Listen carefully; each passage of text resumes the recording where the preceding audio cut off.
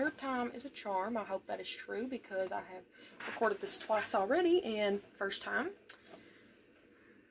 what happened the first time? I think I forgot how to play guitar. And then the second time, you know, uh, my computer turned off. So I'm going to make sure, and hope it doesn't do that. This is a song called Mountain Laurel. I wrote it about a book that I've been writing. I write books a lot, and then I don't do anything with them because that's just what I do with my life, you know. And so this is about a character from that book named Laurel. So here you go. Well, her long auburn hair falling down past her knees as she runs up the mountainside past the tall trees, straight up to the ridge where the wildflowers grow. Oh, sweet mountain laurel, there's sunshine wherever she goes.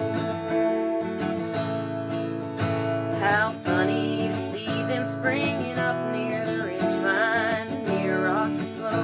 you.